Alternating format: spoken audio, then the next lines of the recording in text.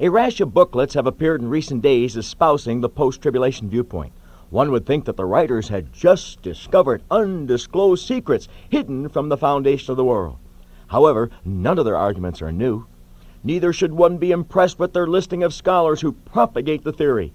For every prophetical genius proposing the post tribulation view, there are 50 scholars who proclaim the great escape, all the pre tribulation rapture. However, names are meaningless on either side because Scripture is the final authority on any given subject, including the meeting in the air. So, what saith the Holy Spirit? First, let's define the tribulation. It is a definite period of unparalleled trouble and sorrow upon the earth. Daniel 12:1 states, There shall be a time of trouble such as never was, since there was a nation, even to that same time. Jesus said in Matthew 24:21, For then shall be great tribulation, such as was not since the beginning of the world to this time, no, nor ever shall be. Revelation 3:10 speaks of it as the hour of temptation which shall come upon all the world to try them that dwell upon the earth.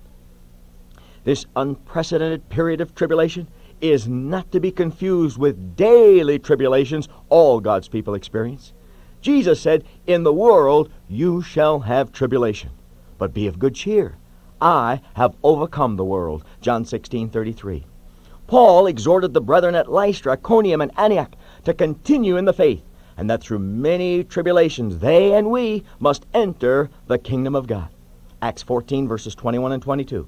To the Roman Christians he wrote, We glory in tribulations also, knowing that tribulation worketh patience. Romans 5 3.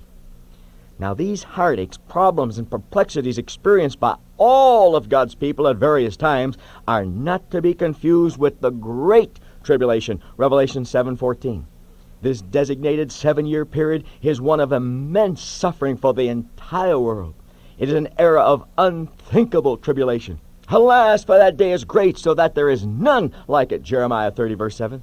There is nothing in past history to describe this period of time, nor will there ever be anything to equal it in future years. Revelation chapters 6, 8, 9, 15, and 16 graphically describe the Holocaust. The seven seals, seven trumpets, and seven vials unfold the tragic and soon coming scene. Study this listing of chapters and judgments.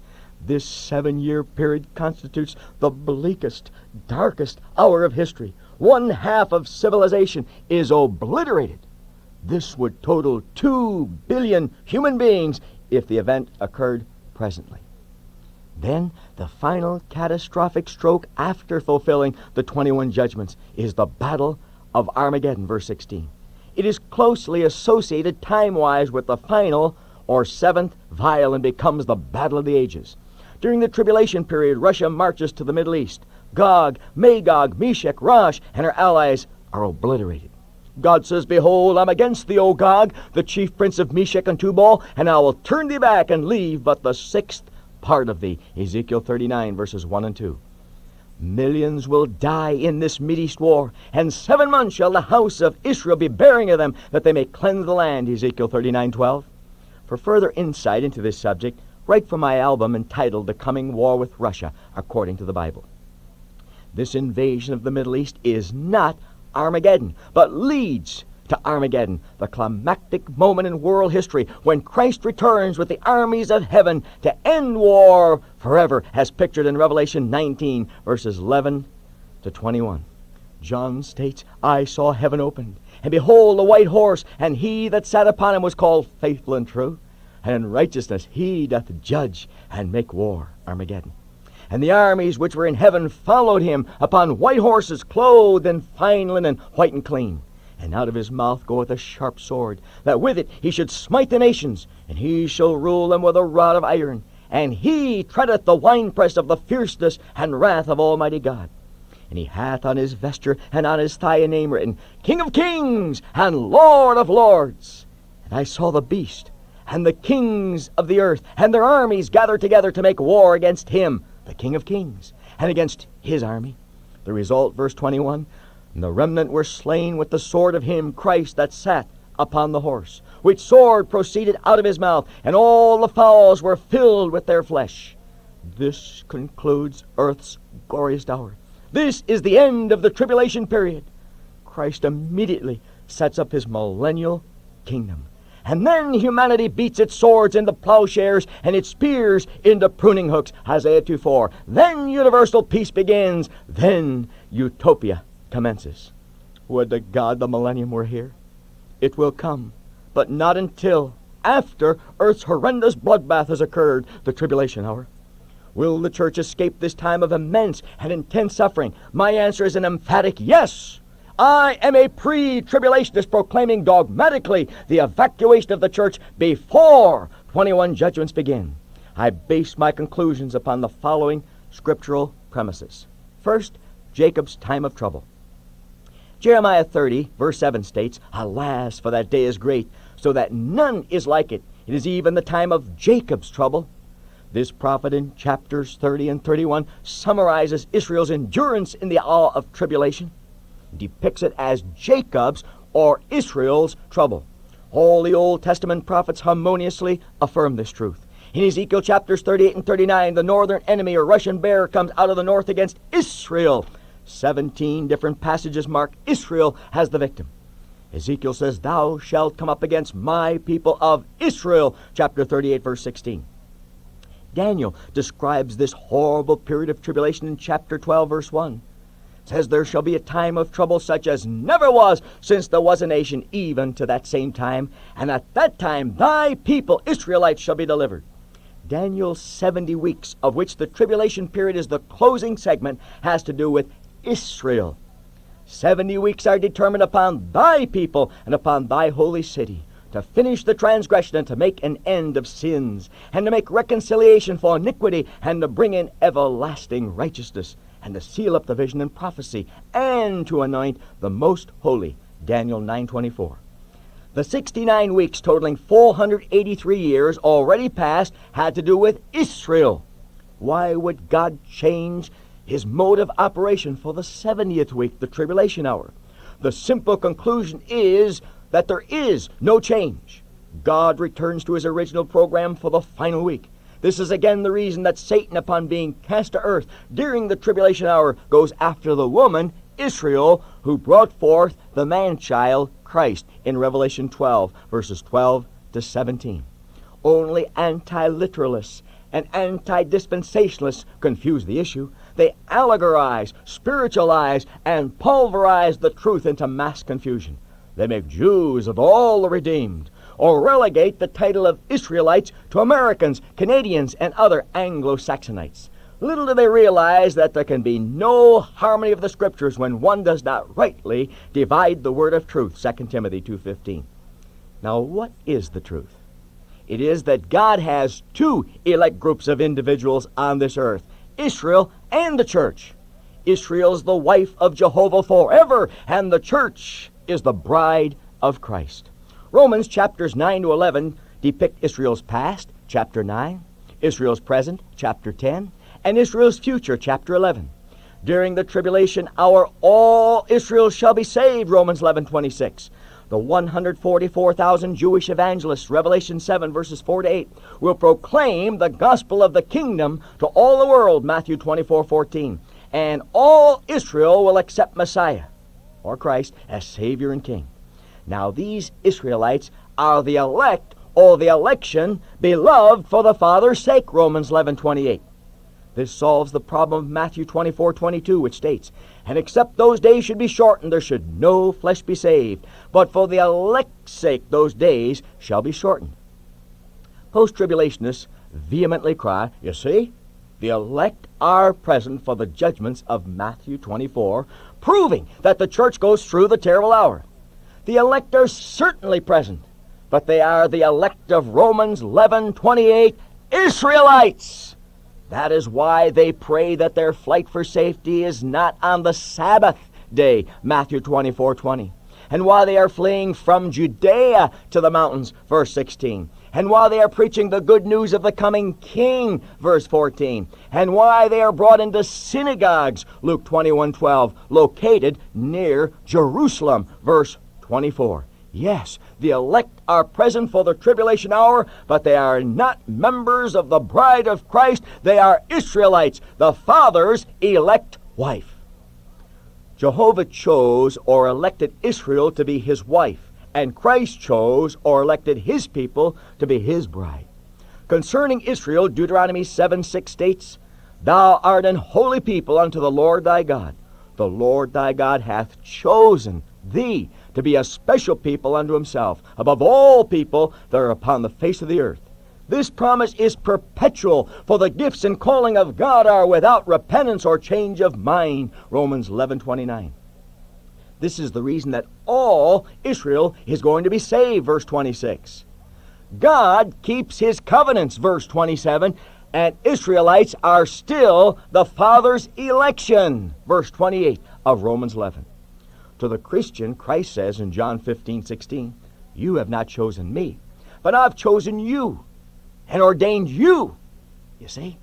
Now there's no difficulty whatsoever when men see both elections. But confusion reigns when the two are intermingled, spiritualized, allegorized, and symbolized. Take God for what He says, literally, and the problems vanish.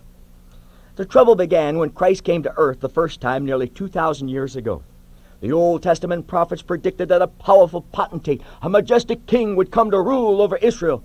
That's why the wise men in searching for the child asked in Matthew 2 2, Where is he that is born king of the Jews? What the people failed to see as they studied the prophets was that this Christ would suffer humiliation and pain before becoming a powerful ruler, Isaiah 53. Because of it, they rejected Christ. John 1:11 states he came unto his own Israel and his own received him not. This is why Christ commanded his disciples saying, "Go not into the way of the Gentiles and into any city of the Samaritans, but go rather to the lost sheep of the house of Israel." Matthew 10 verses 5 and 6. He would offer himself as king to Israel first. In fact, his advance man, John the Baptist, cried, Repent ye, for the kingdom of heaven is at hand. Or, the king is coming. Matthew 3 7. However, the king was rejected, just as Daniel predicted. He said, Daniel 9.25, After threescore and two weeks shall Messiah be cut off, but not from south. Now these are weeks or sevens of years.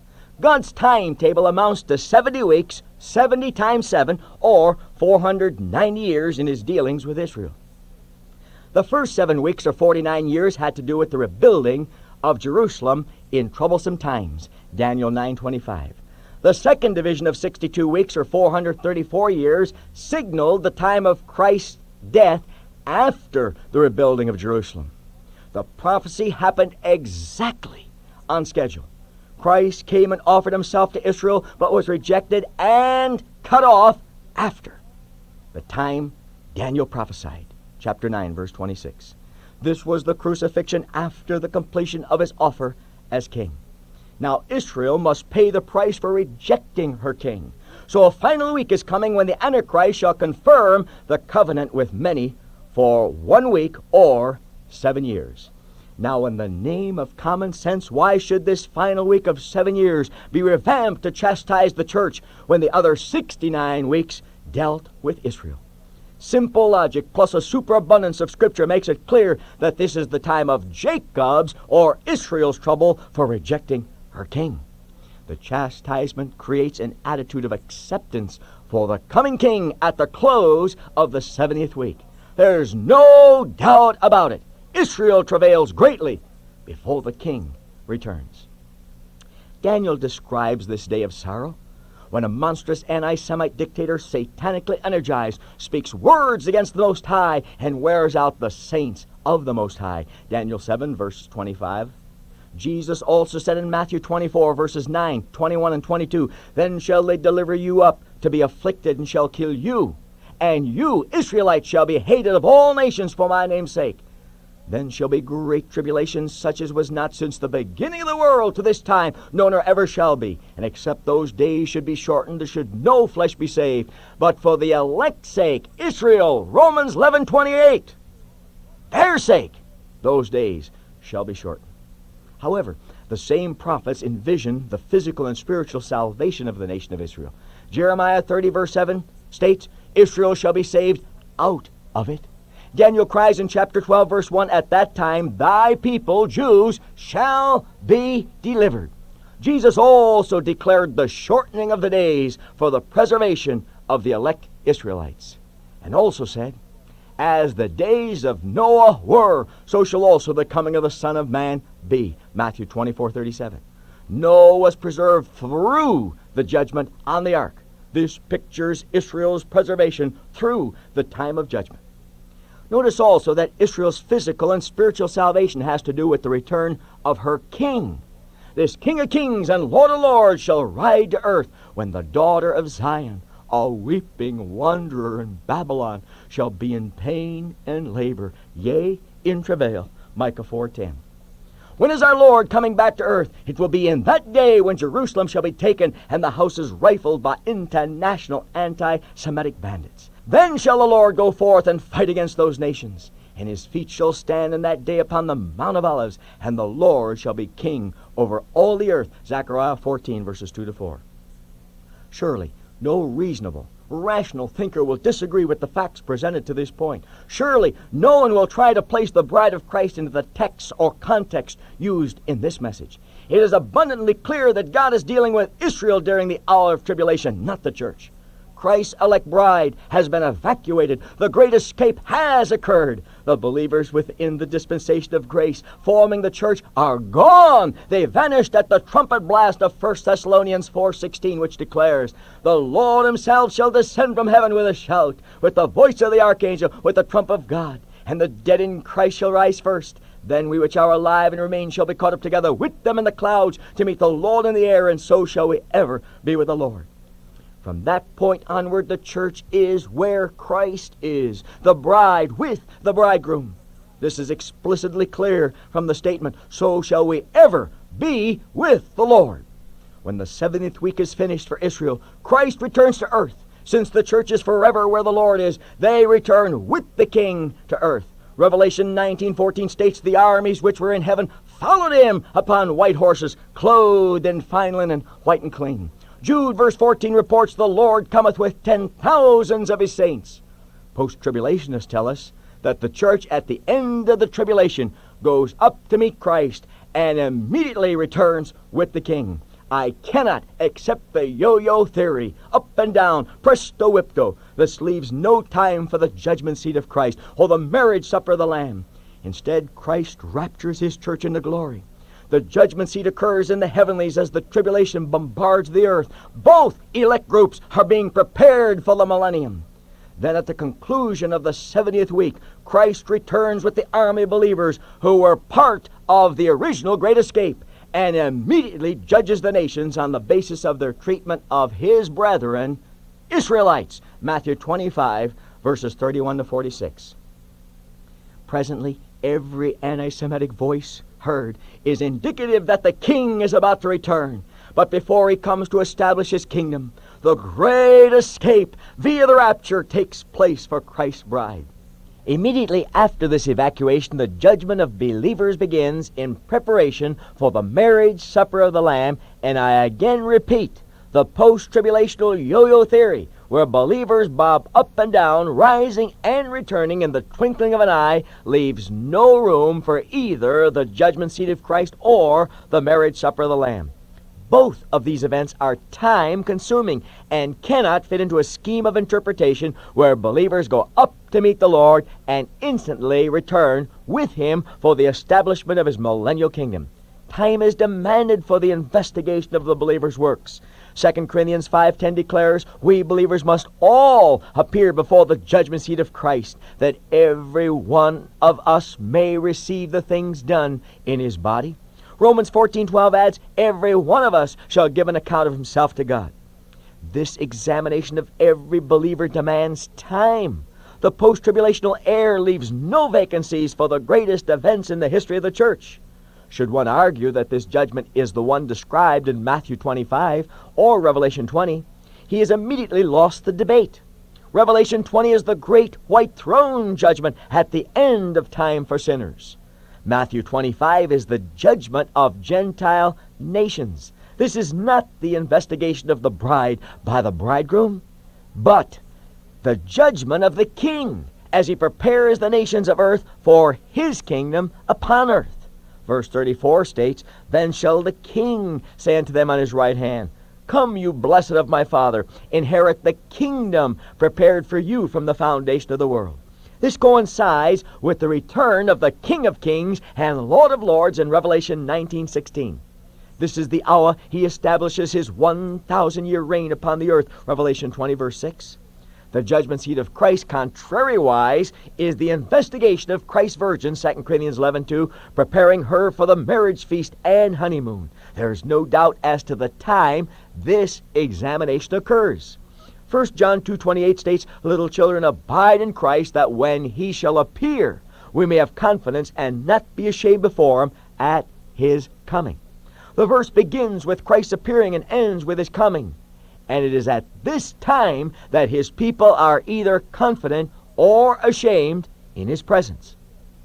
This investigation of the bride's works takes approximately seven years. While Israel is being judged on earth, the bride is being examined in heaven. This testing of the bride is necessary because Christ wants his sweetheart presented to him not having spot or wrinkle or any such thing, but that she should be holy and without blemish. Ephesians 5:27. This presentation of the spotless bride takes place at the marriage supper of the Lamb, Christ, the Lamb of God, who taketh away the sins of the world, John 1:29, has his purified bride by his side is the myriad of voices at the greatest marriage feast in history unanimously cry, Let us be glad and rejoice and give honor to him, for the marriage of the Lamb is come, and his wife hath made herself ready. And to her was granted that she should be arrayed in fine linen, clean and white, for the fine linen is the righteousness of saints. And he said unto me, Write, blessed are they which are called unto the marriage supper of the Lamb. Revelation 19, verses 7 and 9. Only a modern day post tribulational Houdini could place the church of bride on earth in this chapter. Notice verse 1 the great voice of many people was heard in heaven. In this same heaven, the judgment of all believers took place, for his wife made herself ready, verse 7. Her fine linen, clean and white, picturing the righteousness of saints, verse 8, proves that the judgment seat already took place in heaven, and now she is ready to sit next to her bridegroom for the marriage supper, verse 9. Watch the next movement. The supper being ended, the bride returns to earth from heaven with her bridegroom for earth's 1,000 year honeymoon. Verse 11 pictures Christ on a white horse returning, and his people, the armies in heaven, following him. Verse 14. The purpose of the triumphant return is to purge the earth of its sinful rebels through the Battle of Armageddon, verses 17 to 21, making the millennial honeymoon one of peace and joy. This is true because Satan is bound for a thousand years. Then the saints take their thrones, and the bride rules and reigns with her lover. Revelation 20, verses 1 to 6. Now, in the name of common sense, how can all this happen in the post tribulationist scheme of interpretation? The marriage feast would still be sticking in the craw, and severe indigestion would ensue if it all occurred in a moment of time. Certainly, the Word of God is on the side of pre tribulationists. The question is are you ready for Christ's return? Have you trusted in Christ's shed blood for the remission of your sins? Don't delay. The church may slip away in the twinkling of an eye at any moment.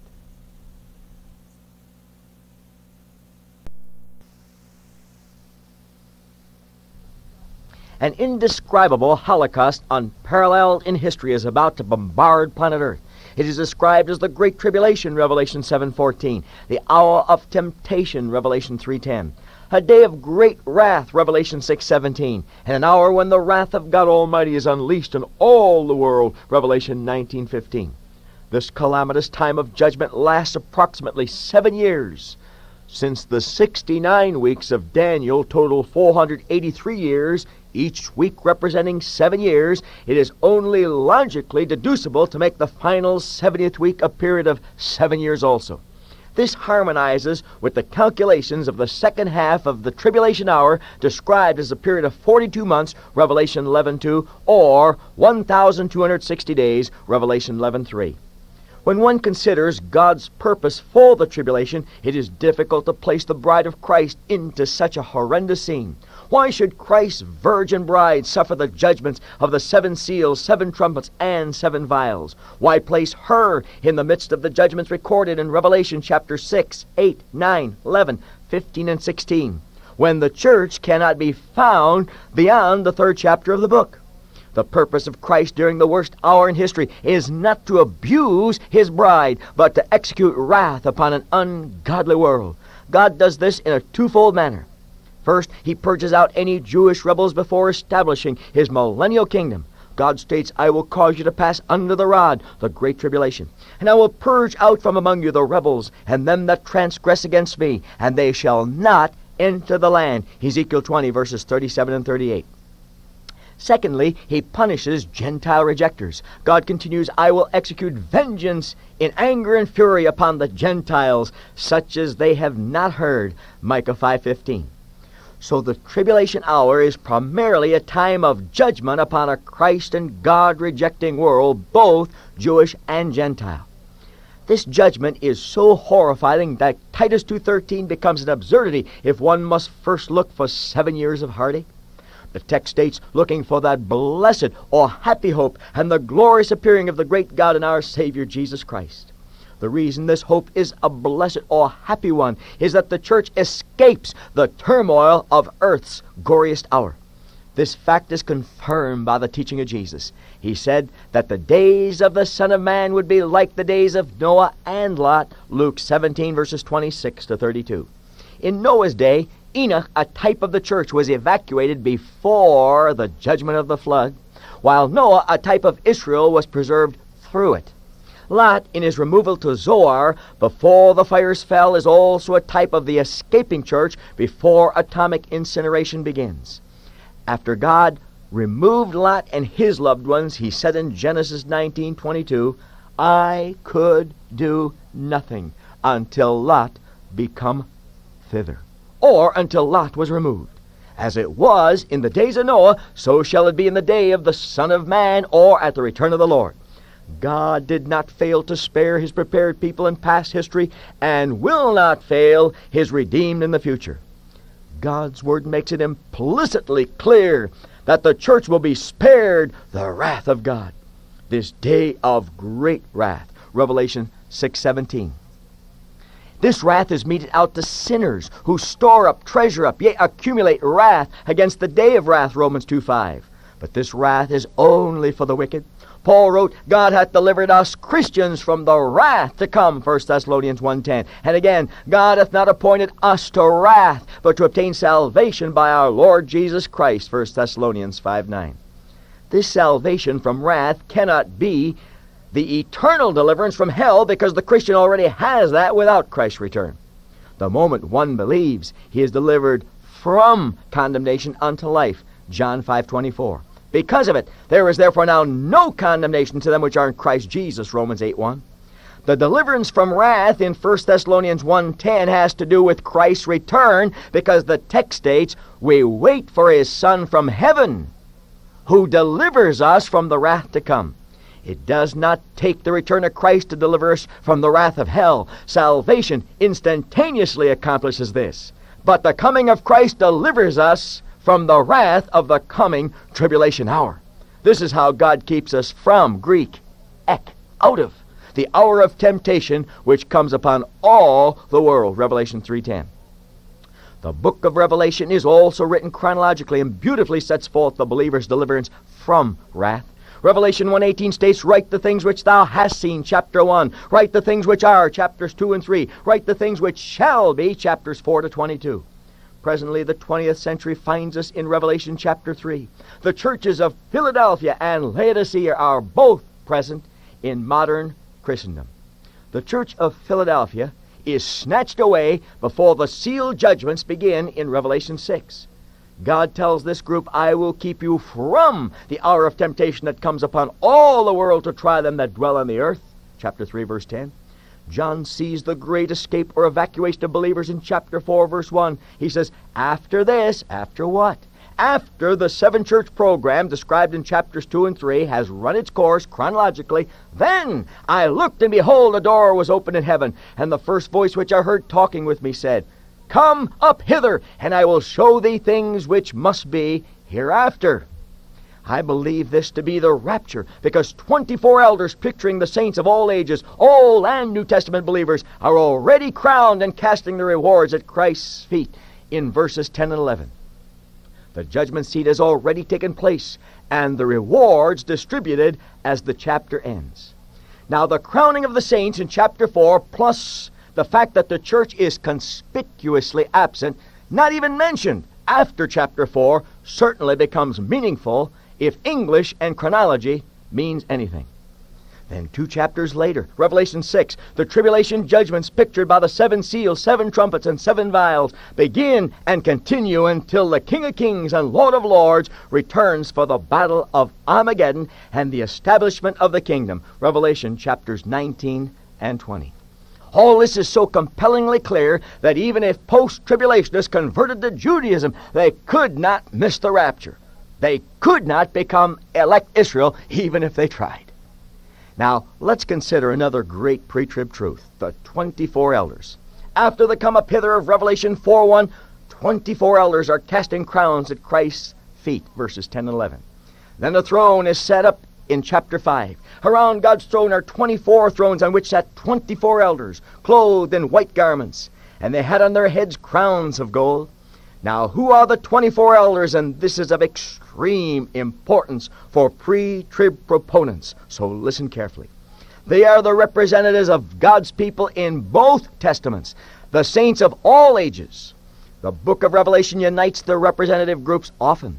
For instance, in describing the holy city in Revelation 21, verses 12 to 14, the names of the 12 tribes of Israel, Old Testament, are posted on the gates, while the names of the twelve apostles, New Testament, are inscribed upon the city's foundations. Now, 12 and 12 is 24. Simple, isn't it? These 24 elders do something that is spine tingling in chapter 5, verses 8 and 9. They fall down before the Lamb Jesus, having every one of them harps and golden vials full of odors, which are the prayers of saints. Then they sing, Thou art worthy to take the book and open the seals thereof, Christ. For thou wast slain and hast redeemed us to God by thy blood out of every kindred and tongue and people and nation, and hast made us unto our God kings and priests, and we shall reign on the earth.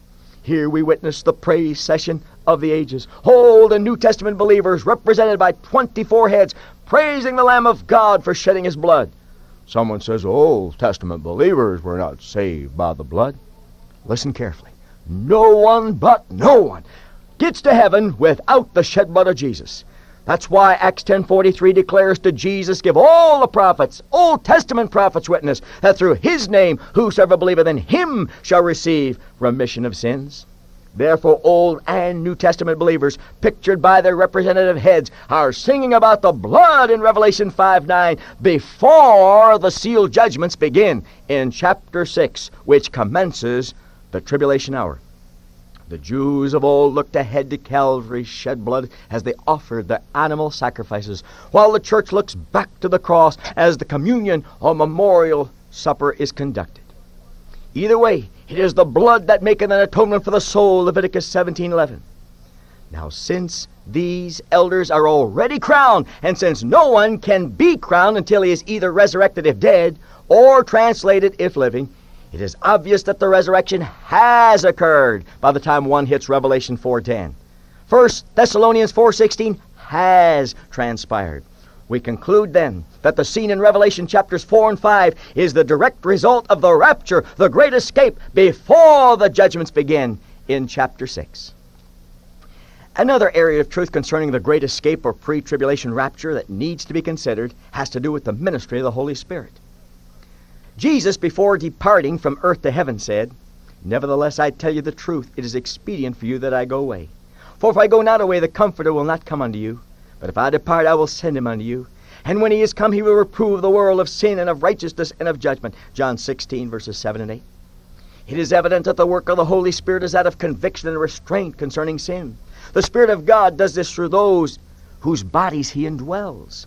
1 Corinthians 6:19 states, "Know ye not that your body is the temple of the Holy Ghost which is in you?" Every child of God is indwelt by this Spirit. For if any man have not the Spirit of Christ, he's none of Christ, Romans 8 9. Spirit indwelt believers have a purifying effect upon the world. They are the salt of the earth and the light of the world, Matthew 5, verses 13 to 16. Salt prevents spoilage, and light dispels darkness. Think of the corruption and darkness that shall prevail when the salt of the earth and light of the world is removed at the rapture. No wonder Jesus said, There shall be great tribulation, such as was not since the beginning of the world. Matthew 24 21. Does the Bible teach such an evacuation of believers? Is there really a great escape before the tribulation begins? Definitely, and the second epistle to the Thessalonians proves the fact. In the first century, some post tribulationists were already sowing seeds of dissent. They said that the church was already undergoing the trials of the tribulation. They even produced a falsified letter forging Paul's name that stated the church was in the hour of trial. Recent post-trib writers have almost gone as far in falsifying facts. They even print names of men who adopted their viewpoint, and the men named wonder how they arrived at such a conclusion.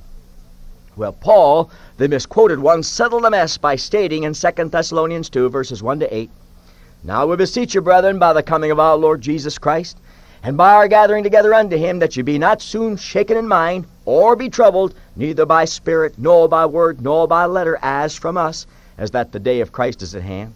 Let no man deceive you by any means, for that day shall not come except there come a falling away first, and that man of sin be revealed, the son of perdition who poseth and exalteth himself above all that is called God or that is worshipped, so that he as God sitteth in the temple of God, showing himself that he is God. Remember ye not that when I was yet with you, I told you these things? And now you know what withholdeth, that he might be revealed in his time. For the mystery of iniquity doth already work, only he who now letteth will let until he be taken out of the way. And then shall that wicked be revealed, whom the Lord shall consume with the spirit of his mouth, and shall destroy with the brightness of his coming. Paul, deeply perturbed by the forged letter, states, I understand that someone produced a letter, supposedly written by me, stating that the church was presently experiencing the pangs of the tribulation hour. Well, don't believe that lying prattle. Don't be bothered, bewildered, or shaken over such a distortion of facts.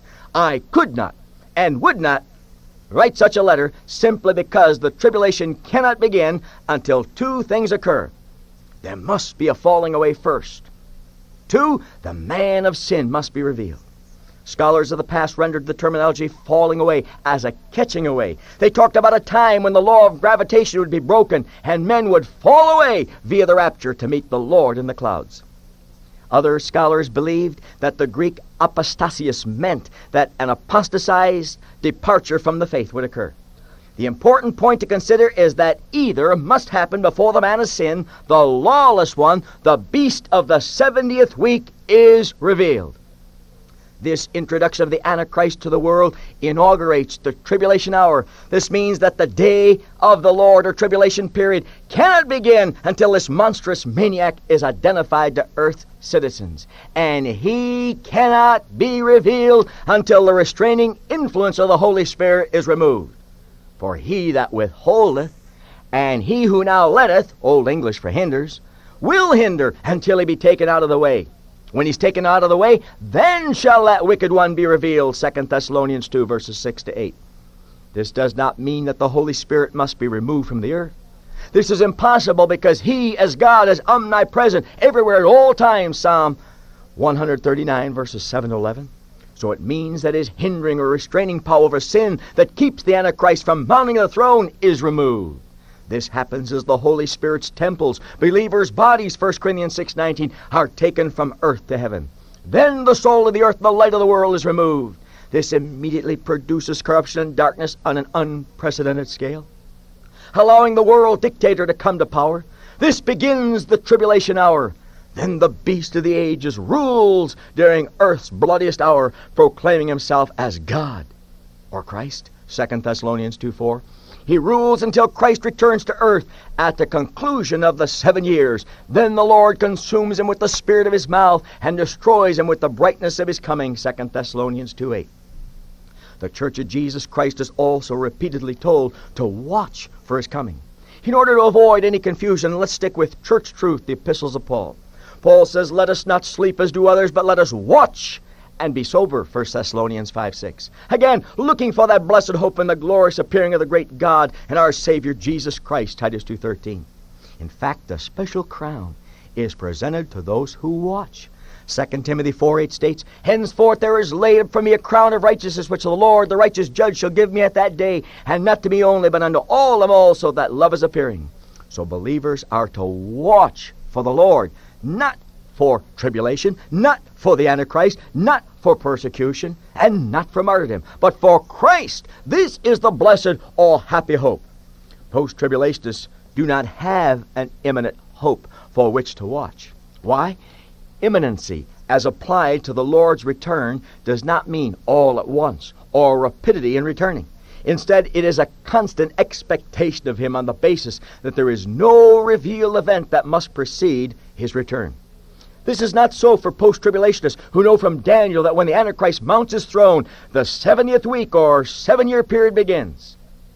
Revelation 11:2 informs them that since half of the tribulation hour is 42 months, then 84 months from the rise of Antichrist marks the day that Christ returns and consumes the world dictator with the brightness of his coming.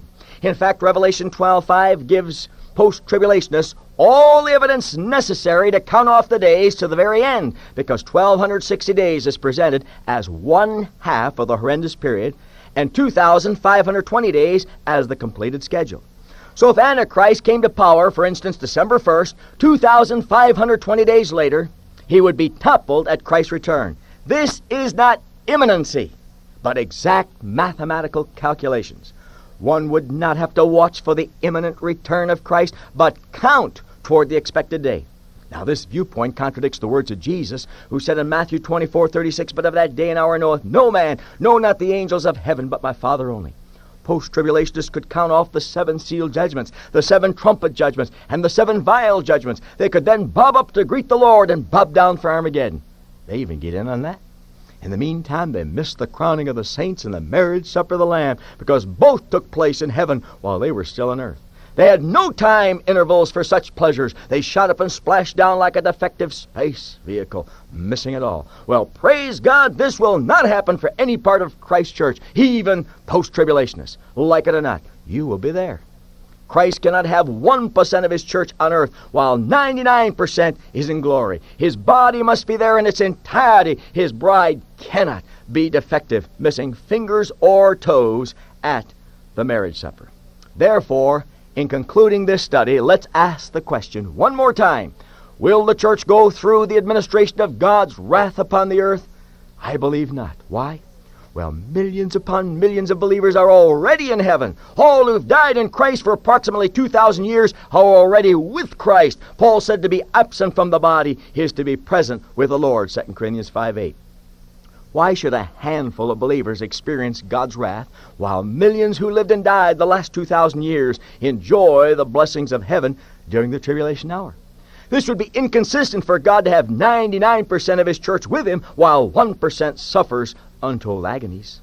Then again, since the Greek word ekklesia, translated church in English, means a call out assembly, could not this definition extend to the very hour when the final called out assembly meets the other 99% of the church already in glory? Why should a minority suffer God's vengeance while the others watch from heavenly places? We are also members of Christ's body. We are flesh of his flesh and bone of his bones. Ephesians 5:30.